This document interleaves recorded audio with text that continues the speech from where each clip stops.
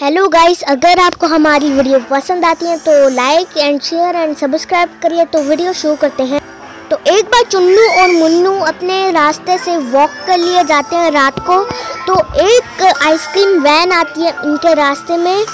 तो वहाँ पर वो देखकर शौक हो जाते हैं और उसके बाद वहाँ पर एक आइसक्रीम वाला उनको कहता है कि आइसक्रीम ले लो। तो फिर वहाँ पर जो मुन्नू था वो मना कर देता और आइसक्रीम वाला और आइसक्रीम वाला अंदर चला जाता है, क्योंकि चुन्नू और मुन्नू भी अपने और अब की बार मुन्नू अकेले बाहर निकलता है, और उसके पास आइसक्रीम रॉड आ जाता है उसको किडनैप करने के लिए।